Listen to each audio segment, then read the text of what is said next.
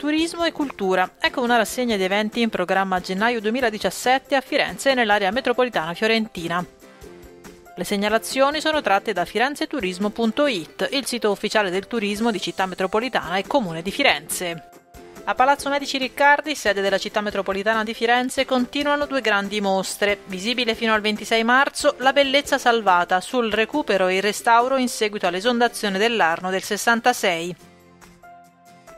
Aperta invece fino al 26 febbraio, nella galleria tra via Cavour e via Ginori, l'esposizione Ebrei in Toscana, XX e XXI secolo, sulla storia locale e non solo delle comunità ebraiche.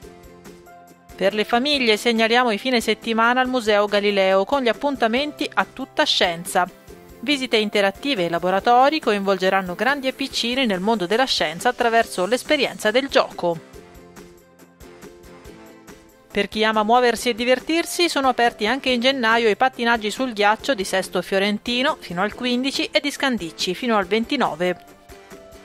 Gli appassionati di musica classica possono partecipare ai Sorsi di Musica Villa Bardini a Firenze, una rassegna di concerti aperitivo organizzati in collaborazione con il Conservatorio Cherubini tutti i martedì pomeriggio.